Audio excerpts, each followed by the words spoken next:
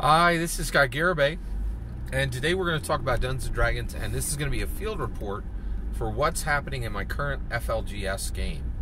So, friendly local game shop. So, I'm running uh, Dungeons Dragons 5th edition.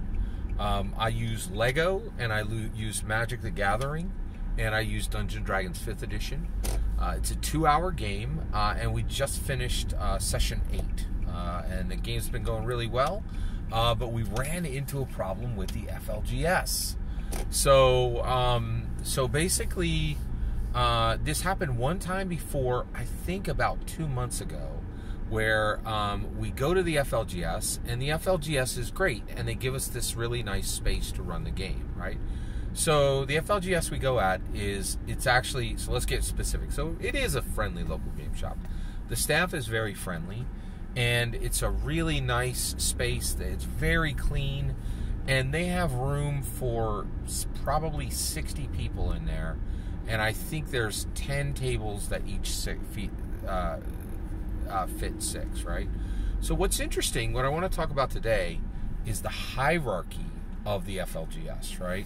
So I have two FLGSs near me and when I run and when I go to run a Dungeons and Dragons game, I have three choices. I can run it in my own home, okay? I can run it at um, at the I don't I'm going to say higher end FLGS. It's in a more rich uh, area and it's literally larger, right? Um, but that place, that FLGS has has its own hierarchy. So I'm going to say the high end uh, FLGS, and I'm going to say the quality FLGS. Neither one of these is low end. They're both extremely good. But one is a higher end FLGS. It's just it's literally in a richer area. It has richer it has a richer own Man, you know, I was going to say it has a richer owner. I could be wrong about that. Um, I think both of both of these owners. I know both of these owners. Both of these owners have done extremely well uh, and are very and have um, literally uh, both of them employ their own sons um, and the other one employs his sons and his daughters. Both of them, I think, have absolutely made a million to five million over the last 20 years uh, at these FLGSs. Uh, no question about it, right? Um, and they're both highly profitable. They're both profitable, right? And actually, I would know highly profitable because one of them, I one of them uh, actually owns like uh, he moved his physical store from one place to another and he brought out a for realsy slabbed bat uh, number one Batman. That's like twenty, and that was like ten years ago, right? And it was twenty grand then. I think I, I think it might have been thirty or forty thousand dollars even then, right? So this this guy got bank like, it, but both of so the higher quality FGL FLGS and the and the quality the higher quality FLGS and the standard quality FLGS, um, they both uh, have really nice spaces but they have different hierarchies. So let's talk about this. And, uh, and so, and let me not bury the lead here. So the problem is, I went to my FLGS, and this has happened twice in three months. I went to FLGS. We start at 7:30. My players are already there when I arrive, right? And uh, and twice the FLGS has been full, right? Now, why was it full? Well, at the standard FLGS, it's actually a Magic the Gathering shop. That is, it's a number one priority, right?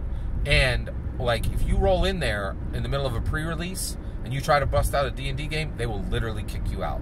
They will be very nice about it, but they'll be like, you can get to step in, right? Like every seat in here is going to be filled um, with pre-release, you know, stuff. Now in the old days, they were jammed full, right? Now, like a pre-release, actually, believe it or not, they they move a ton of cards, but they actually don't uh, actually pre-release um, physical attendance is actually going down, right?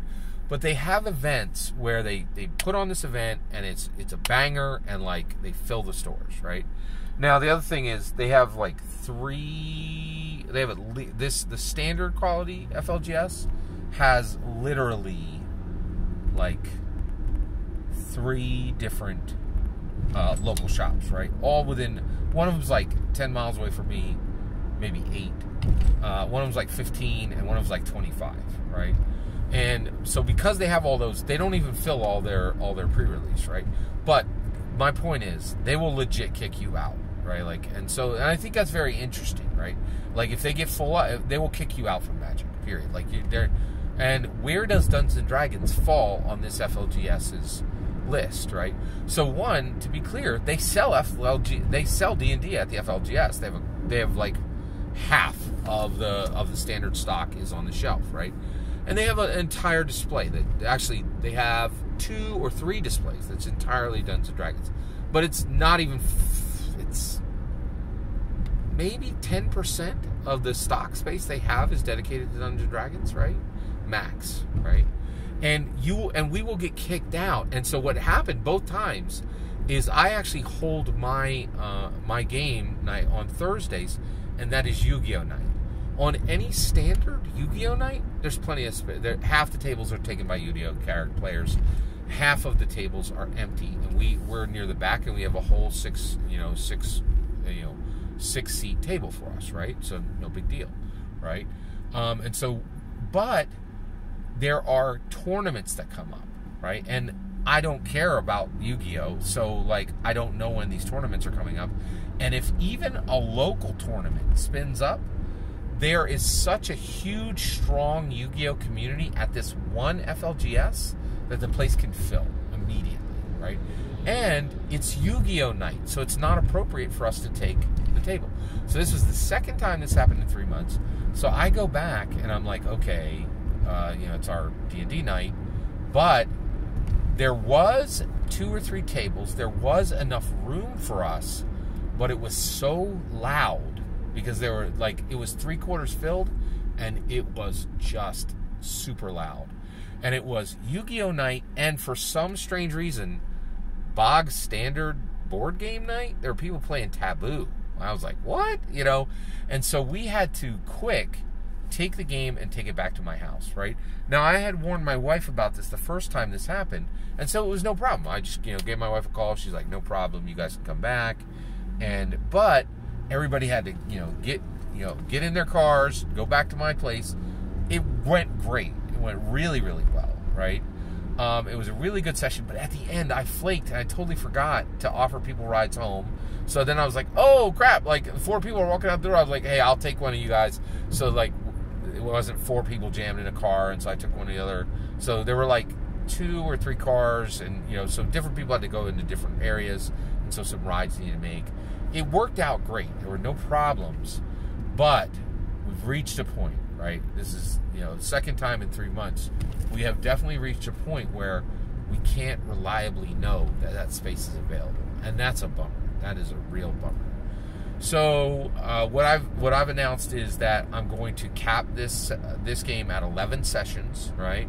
So we're going to run for three more sessions, and then I don't know what we're going to do after that, right? Because that because um, I know I don't I know we don't have a reliable space for this game, right? And I and the reason this game came about was like this one player. I was like, I would really love to run some D and D. He's like, bet, and he filled the table And I and I really am incredibly thankful for that.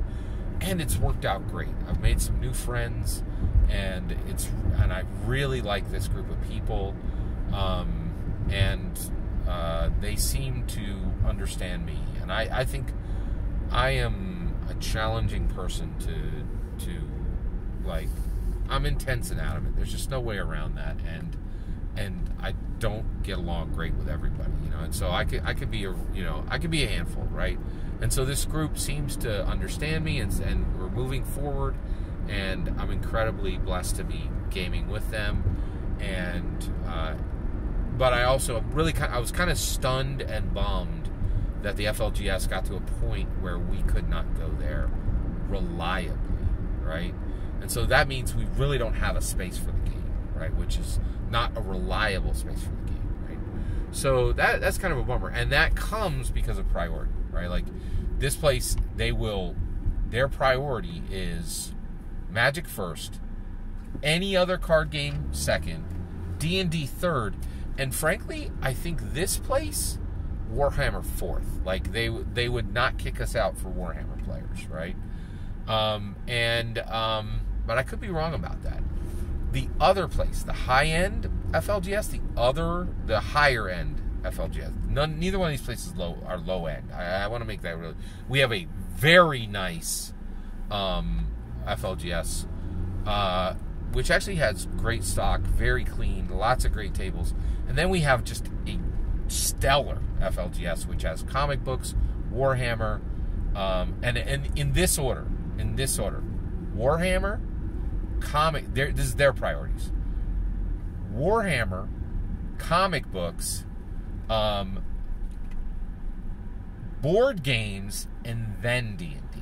Right, like so we could get kicked out of there if it was filled with board gamers. If it was filled with war, they would def kick us out if we were war, you know if if we were playing Warhammer.